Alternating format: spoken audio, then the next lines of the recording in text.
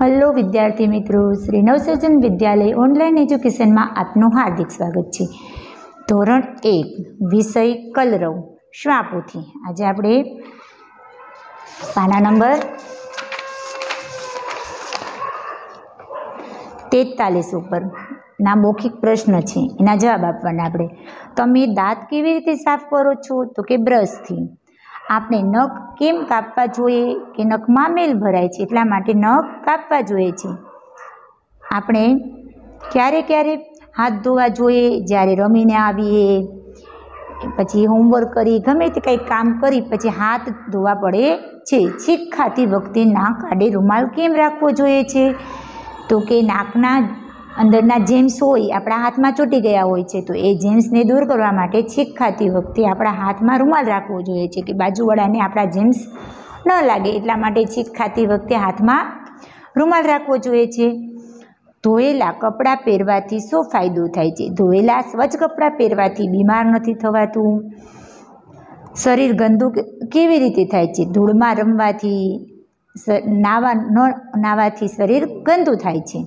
ઘરનો કચરો ક્યાં નાખવો જોઈએ? ઘરનો કચરો એ કચરા ટોપલી એટલે કે ડસ્ટબિનમાં નાખવો જોઈએ. કચરા ટોપલી હોય ત્યાં જ કચરો નખાય. જ્યાં ત્યાં કચરો ફેંકાય નહીં. આપણું ઘર કોણ? સ્વચ્છ રાખે છે. આપણું ઘર મમ્મી. અને આપણે બધા સાથે મળી ઘર સ્વચ્છ રાખીએ છીએ. ઘર અને ગામને ચોખ્ખું રાખવા શું કરવું જોઈએ? ઘર અને ગામને ચોખ્ખું રાખવા માટે જ્યાં ત્યાં કચરો ન નાખવો જોઈએ. અને સાફ રાખવું જોઈએ આપણે. તમે કચરાપેટીમાં ક્યાં ક્યાં જોઈએ છે? તો કે શેરી હોય, રોડ ઉપર, રસ્તામાં, બસ સ્ટેશને ગયા હોય, અહીંયા કચરા ટોપલી હોય, ઘરમાં હોય, સ્કૂલે હોય, વગેરે જગ્યા ઉપર કચરા ટોપલી હોય છે. કચરો કચરા ટોપલીમાં શા માટે નાખવો જોઈએ? કારણ કે કચરો જો જ્યાં ત્યાં ફેરવી તો ગંદકી થાય છે. ગંદકી થાય તો બીમારી આવે છે. એટલા માટે કચરો જ્યાં ત્યાં ન નખાય ક્યાં નાખવો જોઈએ? કચરા ટોપલીમાં. શેરી સ્વચ્છ કોણ રાખે, શેરી સ્વચ્છ શેરીમાં રહેતા માણસો હોય એ બધા શેરી સ્વચ્છ રાખે છે. આપણે જ્યાં ત્યાં કચરો ફેંકી તો આપણી બાજુ આપણે શેરી હોય તેમાં કચરો ફેંકીએ તો શેરી સ્વચ્છ ન રહે. આપણે શેરી સ્વચ્છ રાખવા કચરો ક્યાં નાખવાનો? કચરા ટોપલીમાં. હવે પ્રશ્ન નંબર બાર છે. વાંચો અને સરખા શબ્દ જોડવાના છે. તો અહીંયા લખ્યું છે ના ગ તો અહીં આમાં જોવાનું ના ક્યાં અહીંયા લખેલું છે. તેની સાથે ના, ગ. હવે અહીંયા લખ્યું છે ગામ. તમારે ગોતવાનું. ગામ. તો અહીંયા ગા મ હવે અહીંયા લખ્યું જાગ.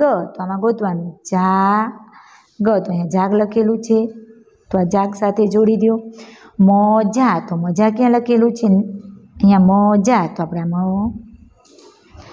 જા. હવે નામ.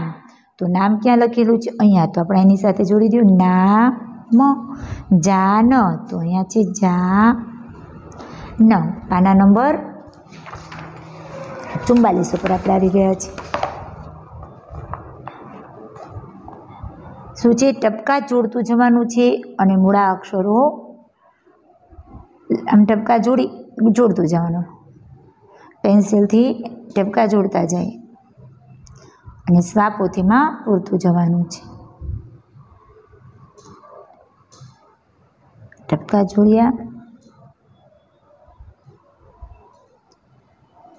મ.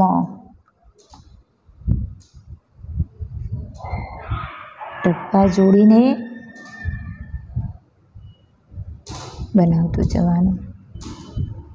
અને બાજુમાં આપણે આવી રીતના એવું બનાવતું જવાનું. સી સી સી હવે અહીંયા મ છે તો અહીંયા આવી રીતના ટપકા જોડ્યા અને અડધો મ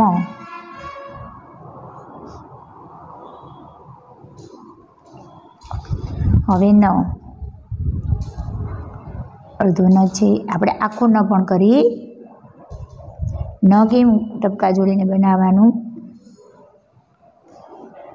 સમજી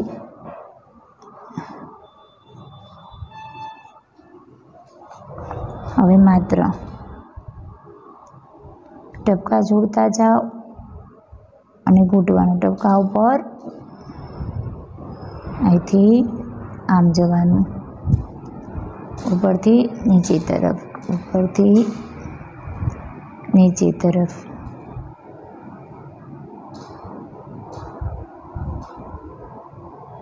ઉપરથી નીચે તરફ.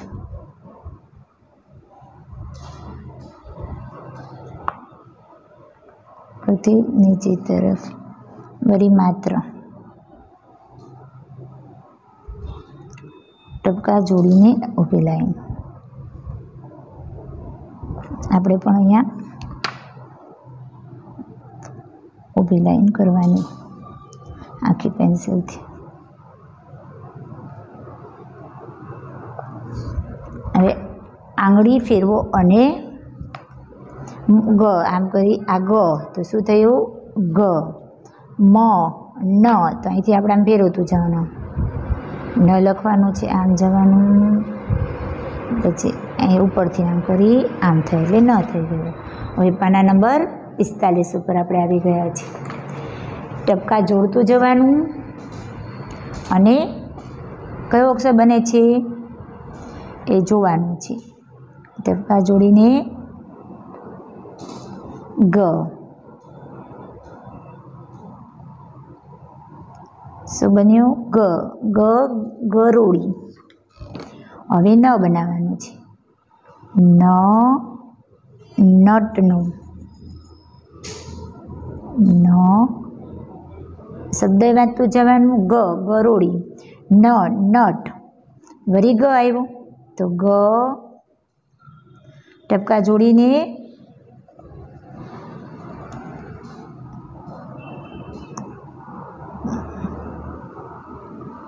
આમ ટપકા જોડતું જવાનું એ શું થઈ ગયું? ગા. ગા એટલે ગાય. પછી છે ન પાછું. ન ટપકા જોડતું જાય.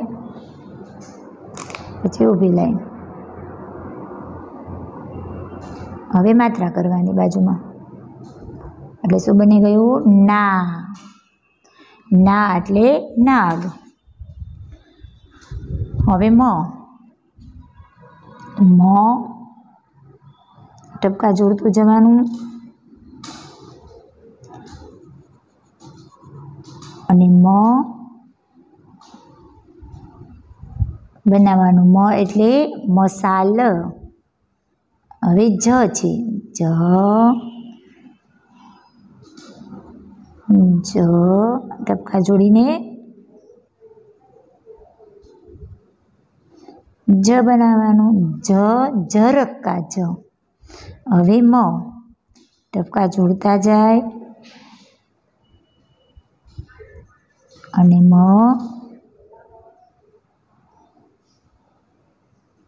મ. અને માત્રા એટલે માં. તો શું લખવાનું? મા છલી હવે જ છે, તો વળી જ જોડ, ટપકા જોડતું જવાનું. અને જ ટપકાથી ઘૂંટીને જ બનાવવાનું. જની પાસે માત્રા છે, એટલે જા થઈ ગયું. તો શબ્દ શું, આને શું કહેવાય? જામ ફળ ચાલો પાના નંબર છેતાલીસ ઉપર. ટપકા જોડો અને લખવાનું છે. ટપકા જોડતું જવાનું અને લખતું જવાનું. ટપકા જોડીને આપણે આપ્યા છે. શું થાય? ગ. ટપકા જોડતું જવાનું અને બોલવાનું. ગ. ટપકા જોડતું જવાનું અને બોલતું જવાનું. ગ. ટપકા જોડતા જાય. શું બન્યો ગ. ગ. બની ગયો. હવે મ બનાવશે આપણે. ટપકા જોડી. મ. ટપકા જોડતા જાય. મ. ટપકા જોડીને મ. ટપકા જોડતા જવાનું અને ટપકા જોડતા જાય અને મ. હવે ન બનાવવાનું. ન ટપકા જોડીને ન. ન ટપકા જોડતા જાય અને ન ટપકા જોડતા જવાનું છે. અને ન બનાવવાનું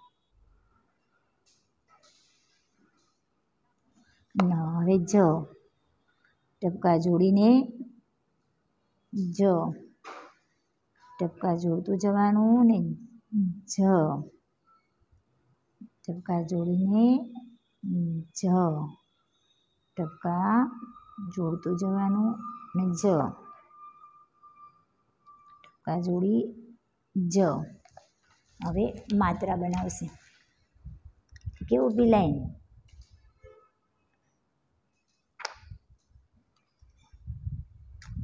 ઊભી કે માત્ર થઈ ગઈ. કાનો લખવું હોય તો. અચ્છા, હવે ગા. હવે કાનો લખવું છે. આપણે મેં તમને કીધું ને, લાકડી. ગા. તો પેલા ગ. એક અને બીજી. એટલે ગા. વળી પાછું. ગા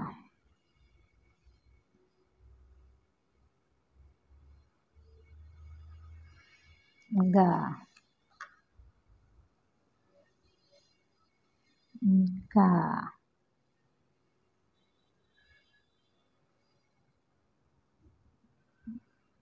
ગા હવે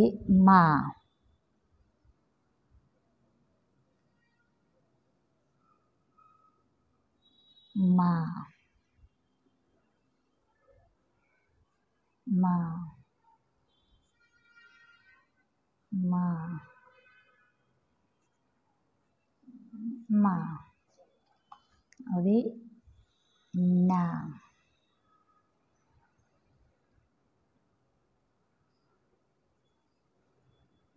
ના ના ના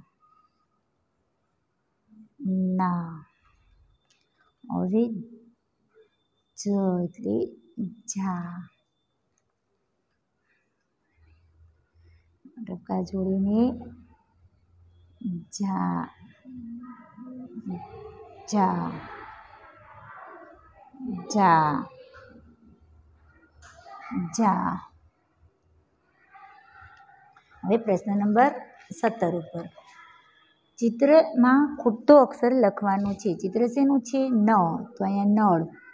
આ ચિત્ર શેનું છે? પેન. તો પેન. આ ચિત્ર કોણ છે? ગણપતિ. ગ.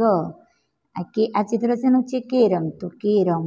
આ ચિત્ર શેનું છે? ન, નગારું. આ ચિત્ર કમળ. ચિત્ર પગ.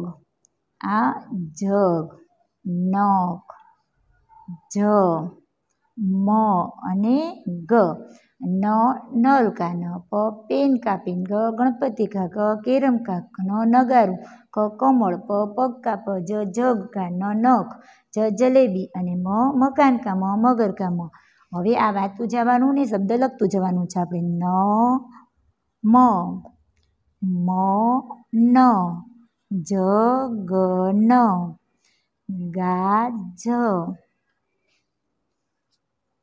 ન ગા જ મા ગ મ ગ ન જ મ જ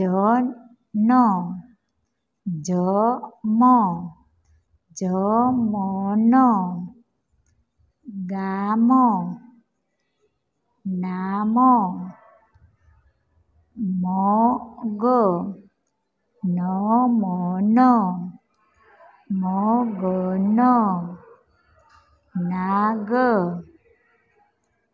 જા ન જ ગ ન જા ગ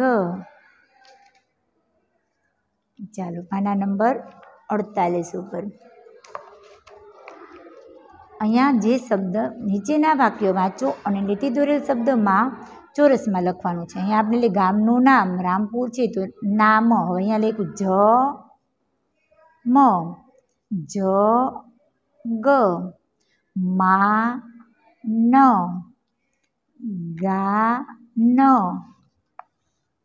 ના ના જા ગ અને ગા મ. હવે આપણે શબ્દ બનાવવાના છે. એમ એટલે મ ગ ન તો હવે નમન બનાવવાનું આપણે શબ્દ. ન મ ન તો નમન ક્યાં બનશે? આ લાઈનમાં ન, મ, ન. પછી જ ગ ન તો અહીંયા જ, ગ, ન. હવે ગ ન તો ગગન ક્યાં બનશે? ગ ગ ન. હવે જ ગ તો જગ ક્યાં બનશે? જ. ગ. હવે મ ગ તો કે મ. ગ. મન, તો હવે મન ગોતવાના આપણે શબ્દ મન ક્યાં બનશે? તો અહીંયા મ અને ન. ચાલો વિદ્યાર્થી, આટલું.